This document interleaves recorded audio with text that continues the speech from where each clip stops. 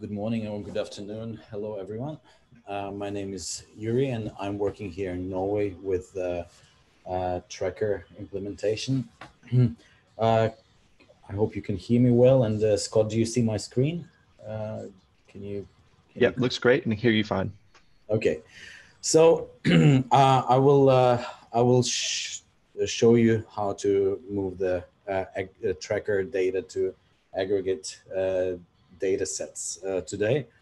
And uh, as Scott mentioned, uh, you know, capturing this individual level data in DHIS2 does improve the quality of data that we report to aggregate HMIS, but it also and also helps us, you know, to get to the analysis of data uh, as regular as often as required. so I first uh, uh, uh, got familiar with this question of how we transfer the data when I was working on the TB case surveillance on the tracker module that has been published now in uh, in August. And so uh, my examples that I will share with you will be based on, on the TB case surveillance. So uh, as you know, uh, for countries that implement tracker, uh, it is recommended that they use two instances for one for aggregate modules uh, and one for tracker. And so by main, maintaining these separate uh, track and aggregate instances, the performance can be best managed by admins and uh, to, so that the data can be protected uh, and uh, used as required. So basically what we do is that when we collect the individual uh, data in Tracker, uh, it is being aggregated via program indicators. So uh, the, the, uh, when we produce the analytics in Tracker, sometimes we're lacking those dimensions that the aggregate uh, world allows us to use, and therefore we uh, we need that step of transferring the data from tracker to the aggregate modules. Uh, and I'm going to talk about two ways of doing that. Uh, one is, uh, you know, more user-friendly, uh, and this is a solution that has been developed by HISP Uganda. And uh, uh, I, I just would like to say thank you to to my colleagues in Uganda who uh, shared that uh, information with me and helped me uh, at, the, the beginning. and the other way, the other solution I will talk about is a script uh, approach um, that requires more tech uh, knowledge. So uh, first, the app uh, that you can uh, all use on the D on, in DHIS2. It's, it's called the Data Import Wizard, developed by HISP Uganda. So uh, it has a user-friendly interface. It supports various import types, and you can save your mappings and uh, uh, edit them and uh, have a good way of controlling them. But the consideration that you need well things that you need to think about as you use that app is that uh, the mapping process is manual and it's best suited for small scale data sets. So basically, if you have to transfer a lot of data from uh, from your tracker to the uh, to the aggregate modules, and you have a lot of indicators or data elements to feed, uh, uh, you'll be better off uh, using using using the other solutions. so how does it work? I'll just uh, uh, say a few words and then I will show it to you on the example of our, uh, on, on the instance. So when once you install the app from the App Store in DHIS2, you have to do it in your aggregate uh, instance, and then you can start with a new mapping. So, and as you configure it, uh, I will walk you through the steps now. You will see that it's quite uh, quite simple. So uh, let me see if you can. Um, I'm I'm trying to make sure that, Scott, did you see that I switched the screen now? Yes, we can see that you're looking at DHIS2, the WHO hyphen dev. Yeah, okay. So uh, as you see here is the uh, is my tracker instance with a whole list of uh, program indicators that I have created uh, for uh, for my uh, for my data. And as I said, you know, for for each of the data element in the aggregate set, I have to create a program indicator. So I need to create one for uh, the age disaggregation for uh, sex and so on and so forth. Here is my um, aggregate uh, instance with the report forms on the TB. And as you see, this form is uh, is empty now. So we'll we'll try to fill it in with with some data. So here is the app uh, that I was talking about, the data import wizard. So once I started, uh, it actually serves many purposes. It can help you import dummy data into your uh, uh, instance or data from Excel or whatever, but we are talking about the aggregate import. So once I start a new mapping, so basically I will have an overview of the data sets that are are present on my in my instance. And uh, here I will go and take the uh, the TB case identification. So I have to create a mapping name. Uh, and choose the import type. So in this case, I'm going to uh, import DHIS2 indicators into a DHIS2 aggregate data set. So I go for program indicators. I have to specify the address of my uh, of my tracker instance, which will be this. So I put it, put it here, and then I have to log in um, with with the uh, system admin password, in order that, that has access to the to the to the instance. So let's see if I get it right this time. Uh, because in the app you can see the actual password, you don't see the stars. I have, uh, let's see if I, uh, no.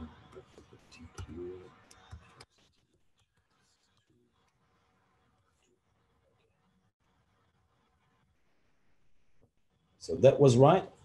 So now here I have to specify what period of time I want my mapping to work for. So I, I will take uh, 2020 and I will take the first quarter. Uh, indicator aggregation level.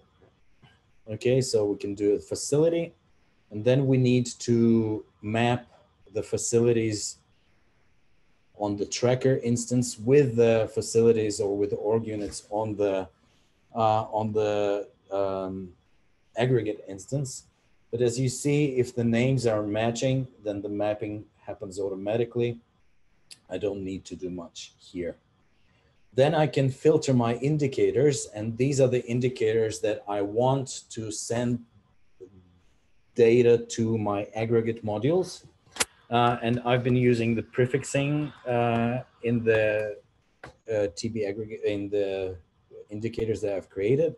So I can assign all of that. and then I can move to the next step. Uh, here I have the, uh, the data sets that you see that I need to manually map. And this is what I mentioned earlier, that for data sets that are included just few indicators, this is the way to go with this app.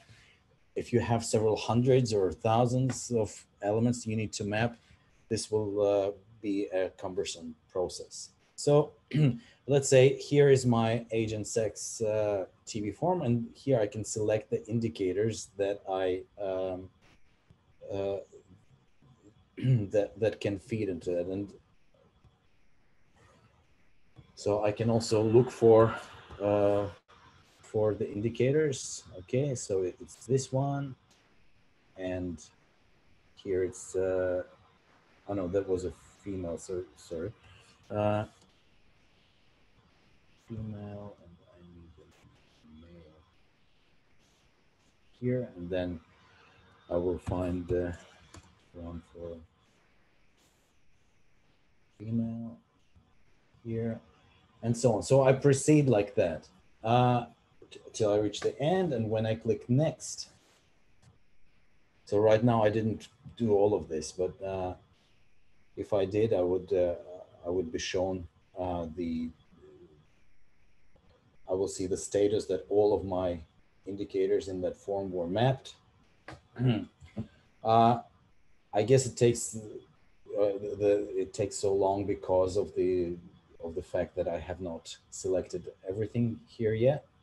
Uh, so I will I will just interrupt this process and I will show you uh, a mapping that I've created earlier. Uh, and you will see that it's uh, what it does. So let's see, I will move on to the next step. So here, here are my mappings. And here you can see that uh, the, the, the import summary of my job that I have updated eight values from my mapping. Uh, and I can save it as a JSON file or I can uh, I can also see oh, sorry. I can I could also see uh, the report on what has been done and if I go to my aggregate uh, module now I, I will be able to see the the data that has been filled in. Okay, so this is how this app works. uh, basically, what, what's in the background, uh, the the the uh, there's a JSON file that is generated with a payload, and then it's uploaded to the uh, to the aggregate module. So um, the next uh, way of doing uh, of moving the data to the uh, to the aggregate modules is the script. And here I'm referring to the script that has been developed by Olav uh, Poppe. A lot of you might know him. And we are now working on uh, upgrading this script so that it will uh, be more universal in what it's doing and, and also uh, provide more feedback to the user once uh, once it's run. So it's a shell executable script that requires uh, some initial setup, and I will walk you through that. And uh, you can also set up automated periodic export of data with that script to to aggregate with uh, well by using let's say a task scheduler. So there's some work that needs to be done for that. And this is where what i started when i when i worked on the TB case surveillance. So basically on the aggregate side you have the data elements and the category option combinations that need to be coded uh, so here is an example as you can see of a uh, data element uh, and a code that it receives. and here's an example of a category option combination with the, with the code. So I will need these codes uh, to map my uh, program indicators in the tracker instance of in order to uh, for this transfer to, to, to be successful. so on the tracker, uh, we will need uh, as you see here, I will move to my indicators. Uh, as you see here, there is an element or an attribute here called category option combination for aggregate data export. So here I map my um, category option combinations from the aggregate um, modules. And I will also uh, need to create a custom attribute, uh, which we call data element for aggregate data export. So we can then map it to the data element in the aggregate package. Uh, at this stage, I would, I would just uh, like to point out that there is a um, bug in the current in the DHIS2 uh, now that prevents the user from creating the custom attribute for program indicators um, in the maintenance app. We are working on that bug, but uh, when we deliver our generic packages, let's say TB case surveillance, these come with these custom attributes because the, the, these custom attributes can still be uh, injected into the, the, the, properties of an indicator via API. So uh, if you have any questions on that or how this can be done, you can uh, you can get in touch with us and we will help you uh, in this process. But once once this bug has been resolved, it will be easier for for users to actually just enter the, those mappings here because this is where it will appear when you create that attribute.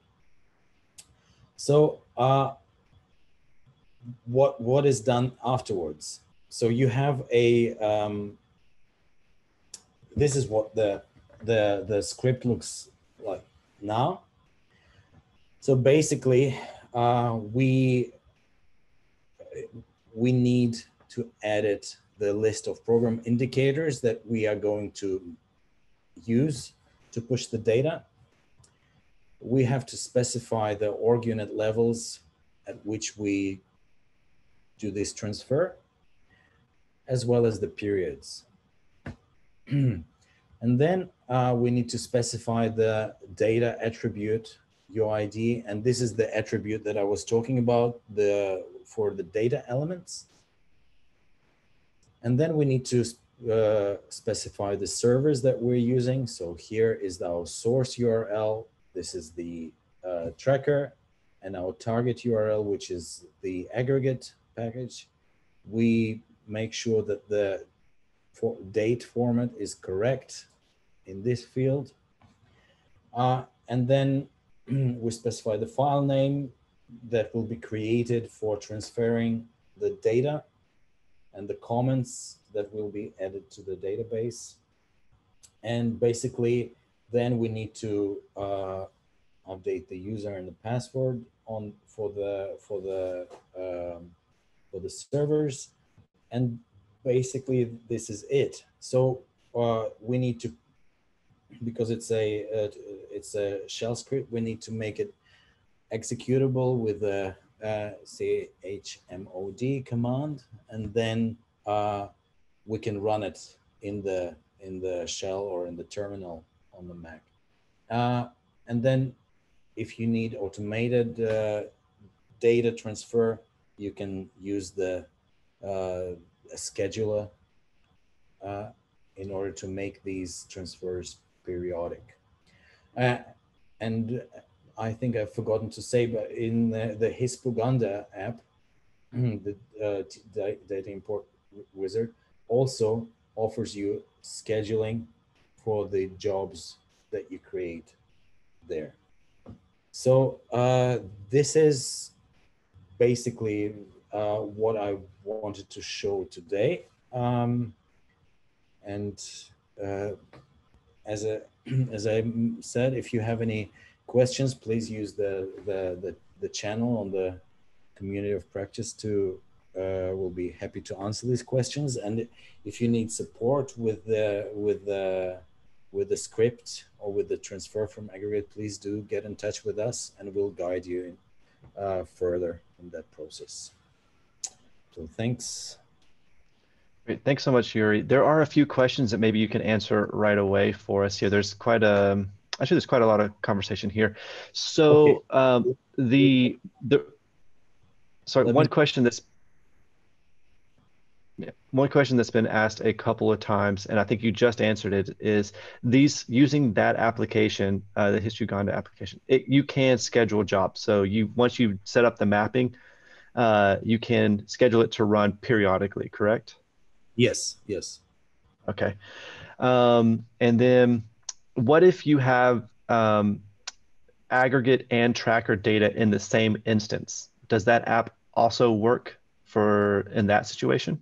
Uh, uh, yes, I, I, I don't think there, there's any restriction uh, in regard to that. So you will just have to specify the same instance twice, uh, and then you will be able, it, the transfer will happen. Mm. Great. Um, then is there, um, are you able to provide contact details for folks who may need assistance using the app or using the script? Yes, with pleasure. So uh, how do I do? I just paste uh, paste it in the in the chat here? Uh, well, I can. If you're fine with me just giving out your email, I can paste it here in the yeah in the chat, or in our in our in our Slack. Um, yeah, yeah. Okay. Um, is there a step-by-step guide that you have for using the application? Uh, we are, I, I don't have a step-by-step guide uh, right now, so I can, uh, I can, I can copy from the notes that I made for the presentation, and I can uh, upload it to, I can either post it on Slack or on the community of practice. Uh, and I will also do the same for the for, for the script. Uh, if right. Yeah. So okay. and, and the script will be uh, the way it looks now. And so so basically, what we're trying to do is that we're trying to make it more more user friendly. So it will give you feedback and it will uh, you know on what it's doing uh, basically. So there'll be more kind of validation of, of the of the process. Uh, but uh, again, you know, the the the, the interface uh, requires more time than uh, than the actual you know script that does the job. Right, right. Yeah, that those would be two very useful resources. Um, another question is: Are we using that same app? Are you able to um, uh, move data to have interoperability between two DHIS2 instances that are just having aggregate data. For example, you have aggregate data in one and, and you want to move that aggregated data to another. Are you also able to use that app for that? Uh, I have not tested it for this, but from what I see when I when I create uh, when I create a new app, so let me just uh, create a new mapping. So yeah. Uh, feel free to you can share your screen again as well. Okay, uh, let me see. We are here now. Okay, so if I if I take my uh, create a new mapping, so th these are the options that I have. I have uh, DHIS2 to DHIS2 data set, which I think is the answer to the question. So mm -hmm. I can uh, move data from one data set to the other, uh, or from indicators. Let's say I could even uh, uh move the data from the aggregate indicators here to the DHIS2 data set. Right. So okay. both, both, both ways are possible. Cool. That's great to see. And I think we actually have some HISP Uganda folks that are participants. And so um, they're actually answering some of the questions themselves, which is really cool.